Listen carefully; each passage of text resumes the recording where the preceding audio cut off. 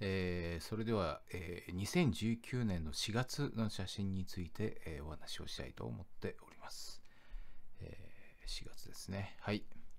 え本当にね、この4月はいろんな写真を撮りましてね、え実は2019年の予定と今年の2020年の4月の予定は、まあ、ほぼ、え同じようなイベント、大会、お祭りに行く予定だったんですが、えー、まあ、ご存知のような状況になってしまいましたね。えー、マーメイドジャパン、えー、メダルを取った時の写真ですね。えかなり暗かったんですが、まあ、この頃からだんだんね、フォトショップの技術が上がってきて、えー、艶のある綺麗な形のね、え写真として残すことができましたね。えー、本当にいい表情ですね。貴重な写真です。で、こちらが、えー、まあ、シンクロナイズドスイミングを詳しく知ってらっしゃる方、まあ、今は、あの、アーティスティックスイミングって言ってますけども、まあ、シンクロナイズドスイミング、ね、えー、小谷実可子さんと奥野史子さん、このツーショットですね。えー、まあ、いろんな2人にはドラマがありまして、こうやってツーショットを見るとね、なんか感慨深いものがありますね。基本的にこのあのアーティスティックスイミングワールドシリーズっていうのは、えー、こういった OG の方がですね、かなり中心になって司会の進行をしてまして、えー、非常に段取りが良かったですね。あの、ポイントポイントで常にこう、なんていうんですかね、まあ長丁場なんですけども、演技がない時でもですね、あの、飽きさせないような様々な工夫をされていたっていうのがすごい印象的でしたね。えー、こちらは上野の森バレエホリデイ、えー、ちょうどね、このイベントとね、アーティスティアーティスティックスイミングのイベントがちょうど、えー、スケジュール的に重なりましてね、え両方とも、まあ、取りたい項目のかなりトップクラスなんで、非常にスケジュールを、え組むのに苦労した記憶がありますね。これもアーティスティックスイミングですね。はい。えー、乾由紀子さんですね。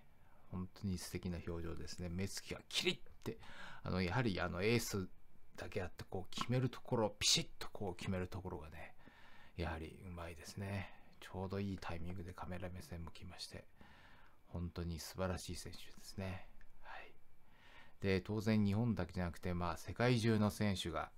トップクラスの選手が集まりまして、非常に素晴らしい写真が撮れましたね。で、アーティスティックスイミングはですね、あの、まあ、インスタグラムに写真を上げるとですね、まあ、特にいい写真を上げた場合はですね、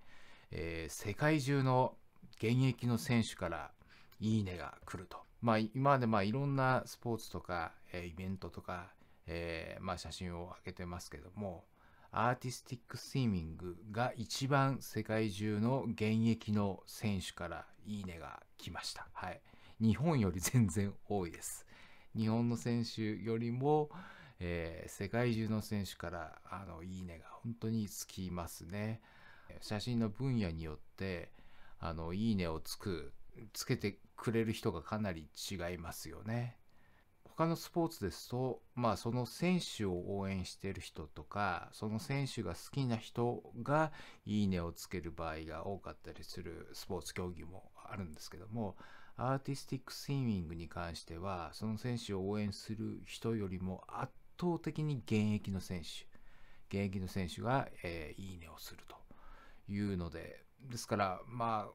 そういった意味ではアーティスティックスイミングの写真をちょっとアップしていきたいなっていう気は、まあね、当然そういうことがありますと動機づけになりますよね。はい。